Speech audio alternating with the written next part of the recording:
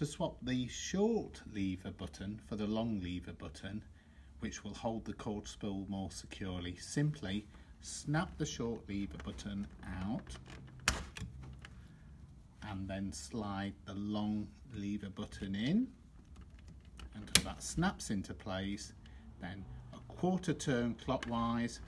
will lock the cord spool